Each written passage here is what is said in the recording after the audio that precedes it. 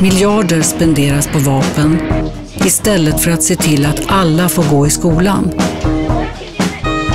Världen är upp och ner. Hjälp oss att vända den rätt på räddabarnen.se.